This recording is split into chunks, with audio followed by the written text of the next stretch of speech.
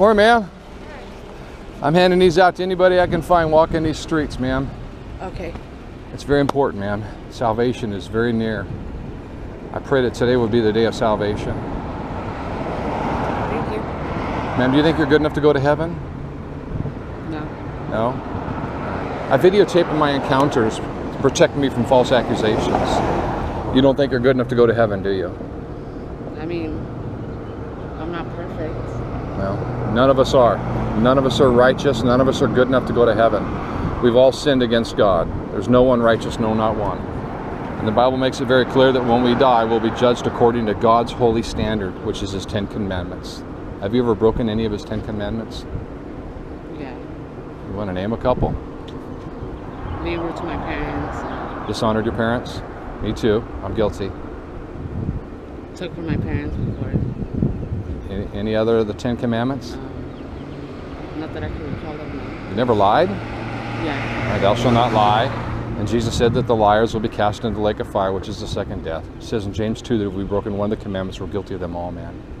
Because God is good, He's a just judge. He will have to condemn us, He says in the scriptures. We're already under condemnation if we are not truly born again. It says in John 3 17 and 18. And therefore, according to verse 36 of John 3, the Bible says that the wrath of God abides upon those that do not truly believe by the born again experience. Back in verse 3 of John 3. Okay? So, how is it you can escape the wrath of God and that, that horrific judgment of God? Uh, how is it you can uh, escape that wrath of God and, and be with the Lord, the loving God, uh, in heaven rather than be in hell with Satan and all of his followers and all of the unbelievers?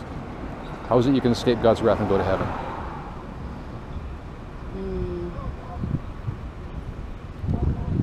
You don't know. This is America, and people don't even know, They do they? It's amazing. Here's the good my news, mom's real Catholic and stuff, but I don't. Yeah. I don't really go to church.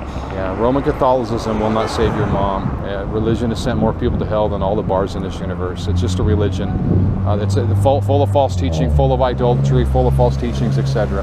Uh, the truth is, is God came into this world to die so that we may live. God, who knew no sin, became sin for us. God came into the form of a virgin birth, through the virgin birth, as baby Jesus. He who knew no sin became the sin sacrifice for you, miss. He died for your sins 33 years later on a brutal cross. It's called the substitutionary atonement. He atoned for your sins.